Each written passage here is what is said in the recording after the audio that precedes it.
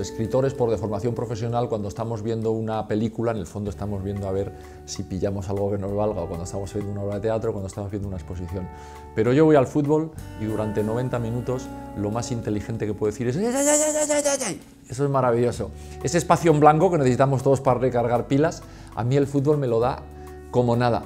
Me gustó mucho jugarlo cuando era, cuando era joven, lo hice aceptablemente bien y ahora me gusta mucho verlo. Es verdad que me gustan casi todos los deportes, pero el fútbol de manera muy especial y muy apasionada.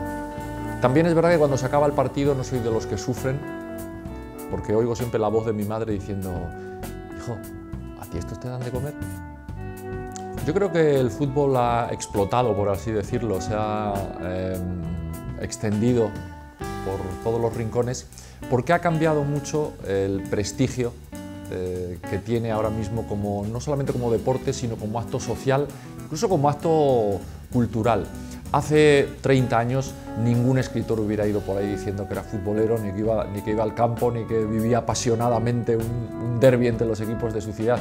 Está muy presente en todas partes. La gente lo, es un tema de conversación, además de ser un, un deporte. Es una manera de identificarse, una manera de gastarse bromas, en fin, una manera de estar en relación unos, unos con otros. En España el fútbol es, ir al fútbol es como ir a la ópera, por lo general, luego siempre hay cuatro o cinco extraños eh, sucesos por ahí desagradables, pero por lo general es, eh, un, digamos, ha ingresado, creo, creo que ha salido del mundo del espectáculo y ha ingresado en el mundo de la cultura, eso es muy importante.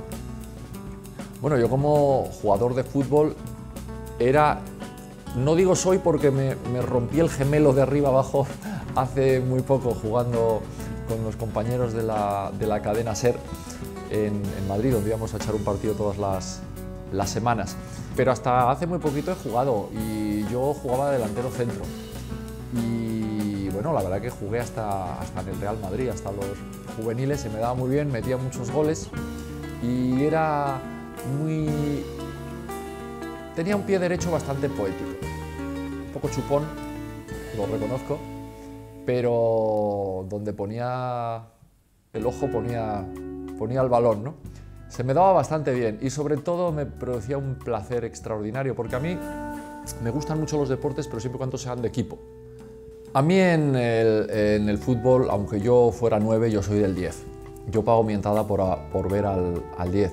Yo como, como hincha del Atleti de Bilbao he sido siempre muy fiel a los jugadores que hacían de eso. Podían llevar el 10 o podían llevar el 8, pero daba lo mismo que fuera Arieta, daba lo mismo que fuera Uriarte o que fuera Rojo primero o que fuera Argote, aunque fueran extremos, pero jugaban como un 10, es decir, hacían poesía jugando, eran imaginativos, eran los que le daban un, algo especial al, equipo. Por cierto, bastante de amor también en algunos, en algunos momentos. Y en el Real Madrid, que es mi otro equipo, pues yo siempre he sido de, de Netzer y he sido de Velázquez y he sido supuesto, de Zidane, que es una maravilla. Y si hablamos de la Real Sociedad, ya que estamos en San Sebastián, yo obviamente era de Zamora y de López Ufarte, son los jugadores que más me han, que más me han gustado. El mejor jugador que yo he visto en mi vida, aquel al que he visto mmm, decidir ganar un partido él solo y hacerlo, ha sido Maradona.